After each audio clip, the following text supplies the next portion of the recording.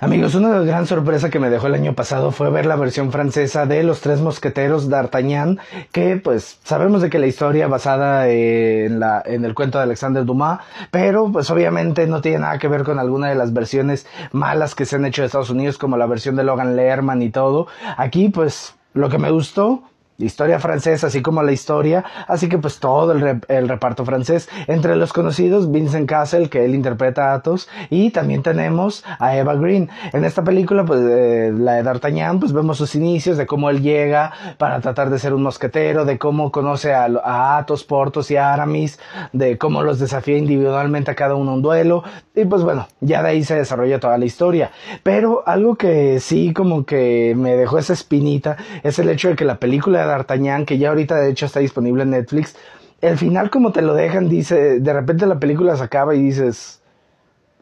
no inventes, en serio me van a dejar esperando para la siguiente, pero como que la película, las dos películas las terminaron grabando al mismo tiempo. Así que pues obviamente sí, una película la estrenaron primero y a la otra se esperan un tiempo para volver a sacar la segunda parte. Y aquí continúa exactamente donde termina la primera, donde aquí ya vemos más el desarrollo de cómo D'Artagnan está buscando a Constance, vemos ya más protagonismo al personaje de Eva Green como Milady, de pues de todo lo que está haciendo, toda la conspiración que hay para acabar con el con el rey de Francia, todo lo de la guerra contra Inglaterra, o sea, la película se me hizo igual que la primera, las dosis de acción están bastante bien, la película, el diseño de vestuario, la fotografía, la ambientación, todo se me hizo muy bien, muy adecuado a lo que definitivamente debería ser la historia de los tres mosqueteros. La verdad, para los que hayan visto la película de D'Artagnan, de que salió el año pasado, ya sea que la hayan visto en cines o en Netflix, no desaprovechen para si se quedan igual que yo, como que